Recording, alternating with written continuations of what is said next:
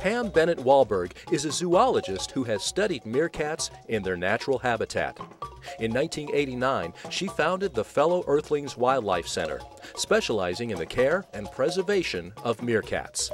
We are going to go visit with some meerkats now.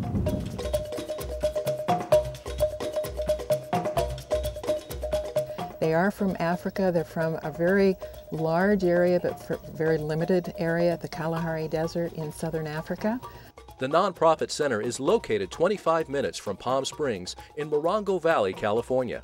That's a long way from Africa, but the conditions are perfect here, providing a lifelong home and sanctuary for these rare animals who come from accredited zoological parks. And we picked this property because it's, it's very reminiscent of the Kalahari Desert uh, in climate, temperature, rainfall. Climate is one thing, but keeping the grounds in top shape falls to operations manager Ron Martin and other dedicated volunteers. And uh, we do everything from changing light bulbs to raking pine needles and electrical repairs, new construction, just about anything that is required. People often ask why they stand up on their hind legs so much. It's to get a better vantage point of their world because they're seeing something. When they're on all fours, of course, they're not seeing as much. To listen to Pam's knowledge on meerkats, it's no wonder she was recruited by Disney Studios as a consultant on the movie The Lion King for the meerkat character Timon.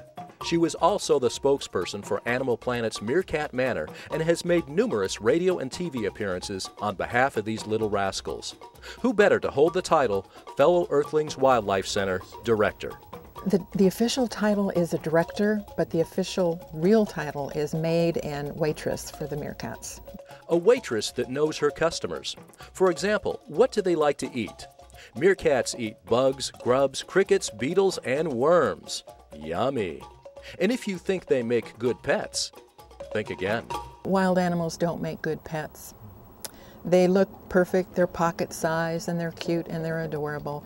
But uh, I'm, I'm so pleased that they are so stringently regulated because I think if they weren't, people would inadvisably uh, get them as a pet and then find out that they're not good pets and uh, they end up in pretty sorry situations that way. They're even illegal to have as pets in South Africa where they're, they hail from. That's right. See that digging? Well, that could be your couch. And speaking of a couch, now, if he could only remember where he buried that Time Warner remote. Seriously though, happy meerkats like Bara and Nona here would not be possible without charitable donations.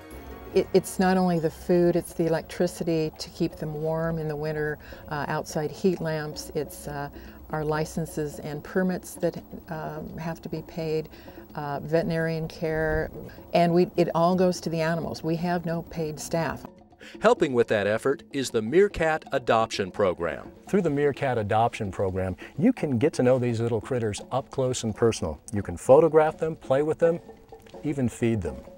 Uh, for a $100 tax-deductible donation, uh, a group of four or fewer can come and have a private visit with the meerkats, go into the enclosure. Uh, most people are not going to have the time uh, or the money to go to Africa, unfortunately, so here they can see them up close and personal.